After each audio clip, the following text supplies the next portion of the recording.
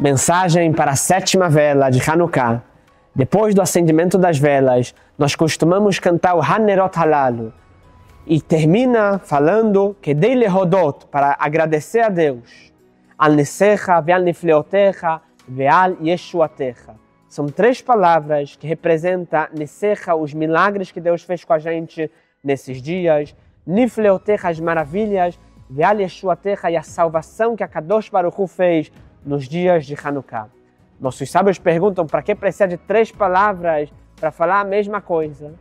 E é explicado que nós estamos agradecendo a Hashem em três níveis de milagres. Yeshua Terra representa os milagres, mas ainda estamos dentro da natureza.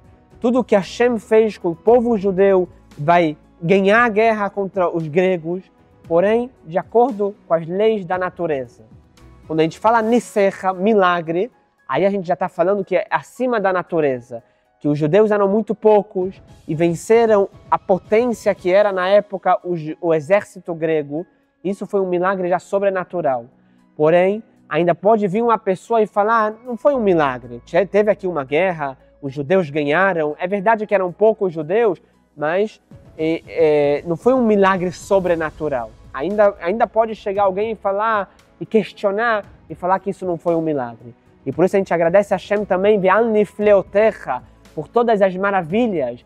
As maravilhas vem significa aqueles milagres completamente sobrenaturais que Deus fez, como por exemplo, que o povo judeu achou um pouquinho de azeite que iria durar somente para um dia e de repente acontece um milagre. E esse azeite nasce e dura durante oito dias de Hanukkah.